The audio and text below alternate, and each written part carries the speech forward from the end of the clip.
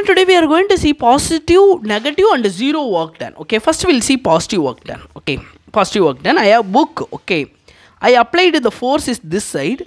Displacement of all uh, book also this side. Force this side, displacement this side.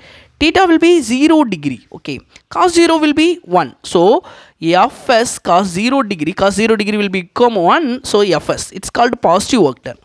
The second condition, okay, Coolie carries the object, he have the object on the head, okay.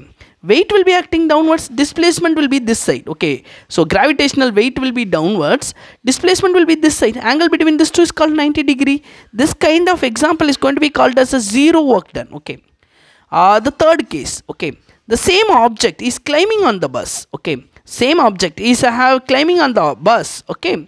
Weight will be acting downwards displacement will be upwards okay. This kind of force will be 180 degree the angle difference will be there. So work done is equal to fs 180 degree cos 180 degree which is going to called as a negative okay. So minus fs is the negative force. Thank you